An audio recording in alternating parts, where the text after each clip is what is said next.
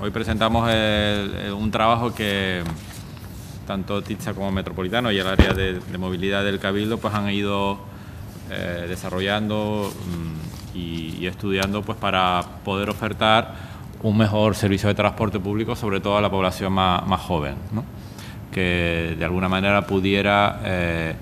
eh, conectar con, con las demandas de movilidad que tienen las personas de menos de 30 años,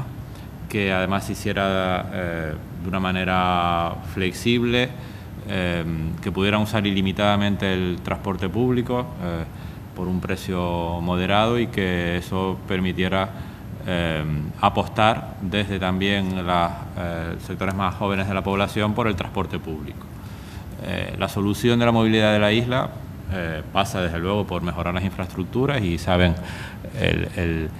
gran, eh, la gran batalla que desde el Cabildo estamos nosotros realizando para mejorar las infraestructuras viarias, también el desarrollo de proyectos eh, de transporte guiado que requieren una infraestructura eh, importante, que además esas infraestructuras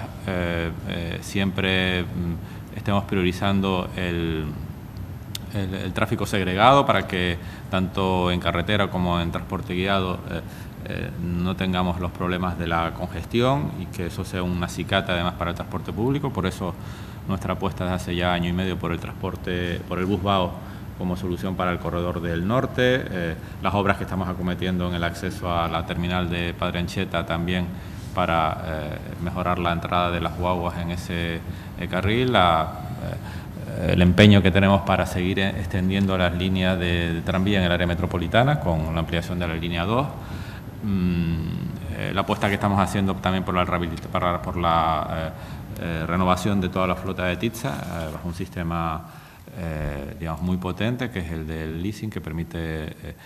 renovar pues, prácticamente el 50%, el 50 de, la, de la flota acciones todas que lo, que lo que buscan, como decía antes, es dar una solución desde el transporte público a la, a la congestión, que sea también compatible con la necesaria inversión desde el punto de vista de las infraestructuras en, en carreteras.